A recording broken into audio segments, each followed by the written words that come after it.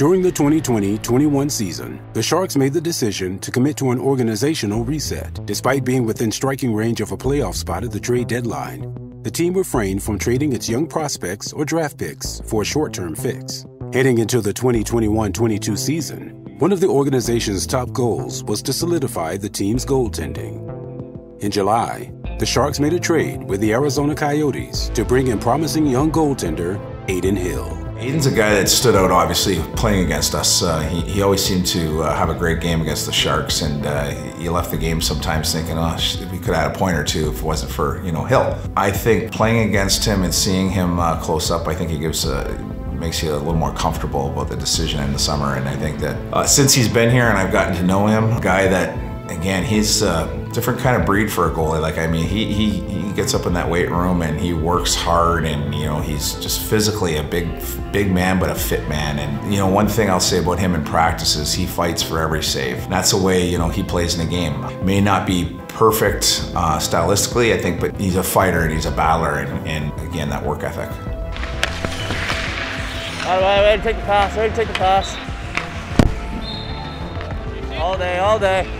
It was kind of surprising. I mean, wasn't really uh, expecting to get traded, but I knew there might be some movement this summer with uh, the expansion draft and all that. So, yeah, I got a call. I was about to work out, and uh, yeah, it caught me a little off guard. But um, yeah, I was excited. To get to a new place and uh, join a new team.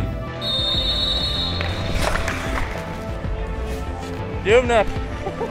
Adin Hill not only will get his second win as a Shark, he'll pick up his first shutout the fourth of his NHL career. And the Sharks win a big one on the road to kick off a big trip in Montreal.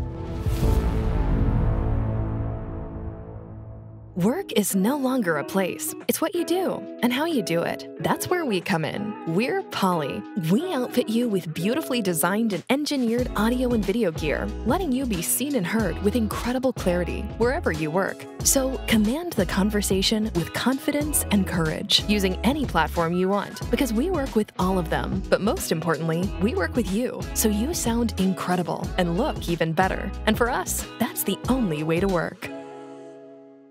Just weeks after acquiring Hill, the Sharks signed James Reimer on the first day of free agency to solidify the tandem with two NHL ready goaltenders. Rhymes He's been here before. He understands how things work in this organization. He's a guy that's had a solid career. And the thing I love about Rhymes, he brings a, a workman-like attitude every time he comes in the rink. He is a guy that uh, cares a lot, works hard in practice, takes care of himself, his fitness, you know, and he works great in tandem with another goalie. I think that he's been a guy that's been in different organizations, always found a way to have success. And the biggest thing I'd say is his professionalism and his experience. This is not Reimer's first stint with San Jose. He was initially acquired in 2016 and was part of the goaltending tandem that would see the Sharks go all the way to the Stanley Cup final. First go around uh, was uh, it was a wild ride. Obviously, a lot of fun. I think I came from the Leafs, so I think we were probably the one of the worst teams in the league that year. Obviously, it was a big rebuilding year for the team that year. And then I come here, and and uh, this team is is, is buzzing, they're rolling, and, and just had a ton of chemistry. So um, you come in and you just want to help out. You don't want to ruin anything. You just want to help the team and, and uh, help them get into the playoffs and, and do what you can. The boys just kept rolling, and it was it was a lot of fun. It is over. San Jose Western Conference champions. Entering the 2021-22 season, Reimer feels similar energy to what he felt when he came in during the 2016 season.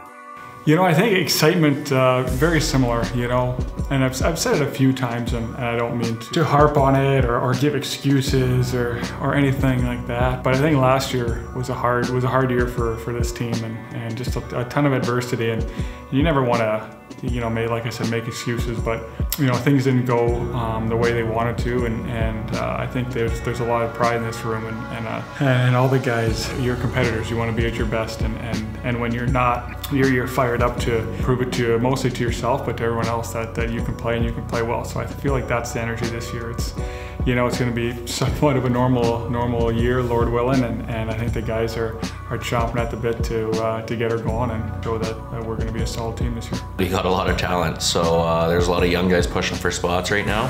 So it's exciting, exciting time to be a fan, to be a player, see who makes a team, and see all that, and see how the lines will turn out. So I'm excited this year, and uh, yeah, I think we'll have a great team and make a good run for playoffs. You're welcome. You're welcome.